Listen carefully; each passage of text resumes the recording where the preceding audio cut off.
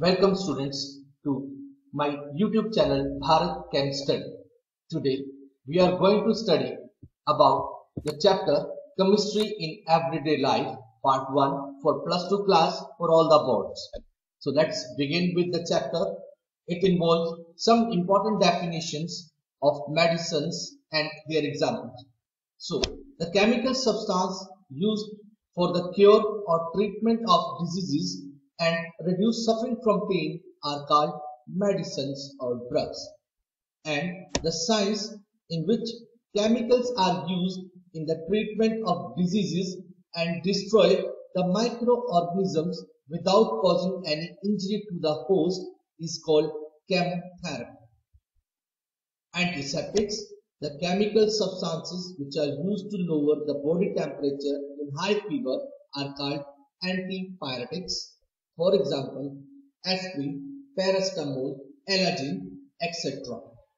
The structure of paracetamol is given and the IUPAC name of paracetamol is N4-hydroxyl phenyl acetamide. Analgesics, the chemical substances which are used to relieve pain are called analgesics.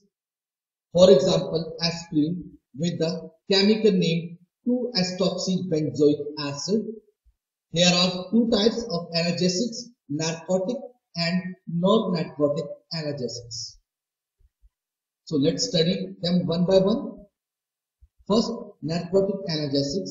So these are the analgesics which are generally habit forming and produce sleep and unconsciousness. Whereas, for example, morphine and heroin. Whereas the non-narcotic analgesics are those which give relief from the pain but are not habit forming. For example, aspirin, brufen, etc. Some important fact about the analgesics. Aspirin is recommended to a heart patient because of its anti-blood clotting action. The use of aspirin in anti-stomach should be avoided because it gets hydrolyzed in stomach giving salicylic acid which sometimes cause bleeding in stomach and also may cause death. Tranquilizers. So the chemical substances used for the treatment of stress and severe mental diseases are called tranquilizers. For example, barbituric acid. These act as a on higher nervous system and are also called psychotherapeutic drugs. These release mental tension and reduce anxiety and are the constituent of sleeping pills. Antiseptic, the chemical substances which are used to either kill or prevent the growth of microorganisms are called antiseptics. For example, Dettol, tincture of iodine, bithionol, etc. They can be safely applied on the living tissue and wounds and cuts they are also used to reduce odor resulting from bacterial decomposition of body or in the mouth. Important point about antiseptic, antiseptics. Dettol is a mixture of chloroxylenol and terpineol. Bithionol, bithionol is added to soap to impart antiseptic properties to reduce the odor produced by the bacteria on the skin.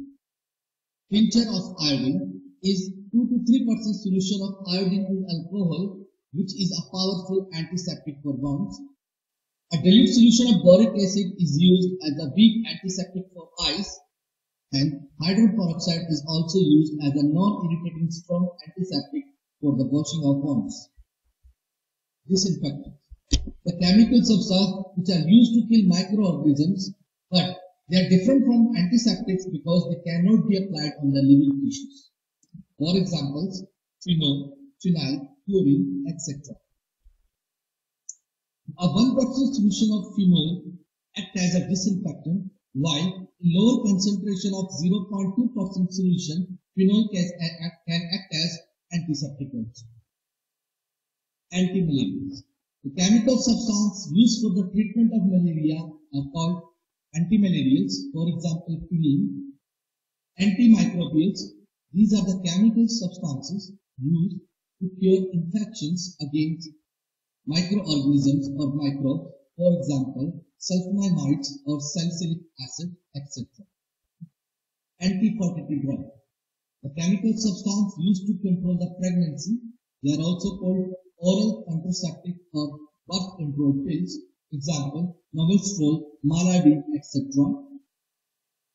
Antibiotics. The chemical substance which are produced by the microorganisms and can exhibit the growth or even destroy other microorganisms are called antibiotics. For example, penicillin. They are further classified in two types, broad spectrum antibiotics and and narrow spectrum antibiotics. So first of all, we are going to study about broad spectrum antibiotics. The antibiotics which are effective against several types of harmful microorganisms and used to cure a variety of diseases are called broad spectrum antibiotics. For example, chloramphenicol is effective against a variety of diseases like typhoid, flu fever, whooping cough, eye infection, and certain urinary infections. Tetracycline and ofloxacin are more broad spectrum antibiotics. There is other definition you can learn narrow spectrum antibiotics. Those antibiotics which are effective against only a few gram positive or gram negative bacteria are called narrow spectrum antibiotics. They are effective against a single organism or disease. They are referred to as limited spectrum antibiotics. For example, penicillin G has a narrow spectrum antibiotic. Antacids.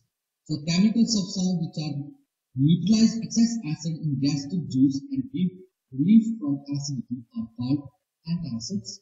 Baking soda, aluminum hydroxide, and milk of magnesia and ranitidine is a common example of antacids. Generally, liquid antacids are more effective than tablets because they have more surface area and easily assimilated.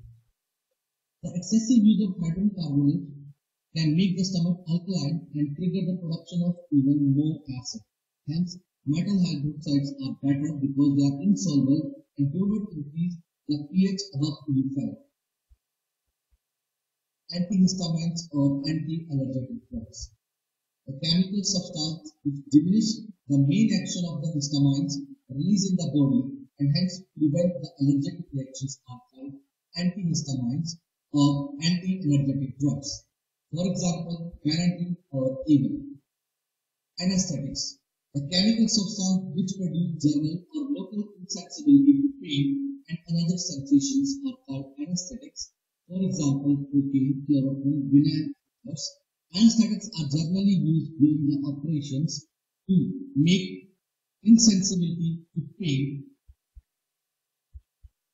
So these are the important definition and example. The remaining chapter will be covered in the next video. Please subscribe the video. Thank you.